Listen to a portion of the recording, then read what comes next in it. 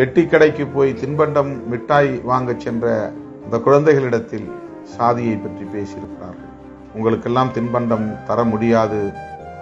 ஊர்க்கட்டுப்பாடு போட்டிருக்கிறோம். தின்பண்டம் காசு கொடுத்து தான் வாங்க போகிறான். இரவல் கேட்கவில்லை.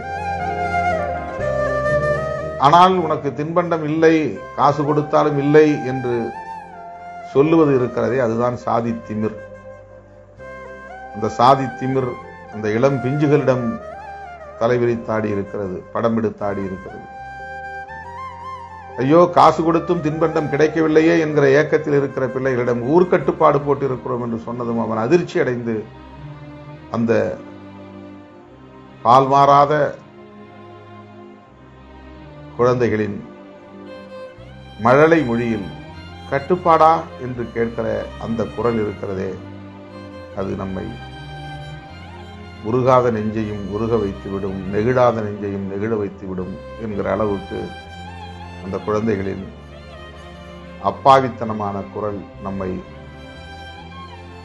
ஆட்டி படைத்து விட்டது.